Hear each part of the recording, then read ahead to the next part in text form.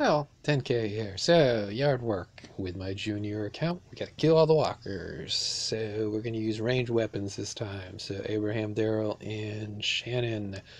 Uh, Abraham, I'm using because even when he's the junior level at level 20, he provides extra strength for both his attacks and for health, extra health for ranged weapons. Daryl, because he has retaliate and Shannon the shooter for taking out those fatties. So this is kind of a spray and pray approach. Uh, you you essentially uh, take some shots and hopefully you can take them out.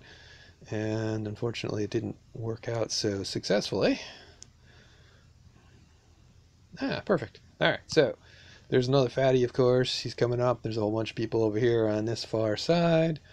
So I'm, I'm, I'm leading with Abraham because I have a daily quest to kill walkers with an assault. So that's the only reason why I brought him forward. No, no other reason for that. So there you go. There is killing them all.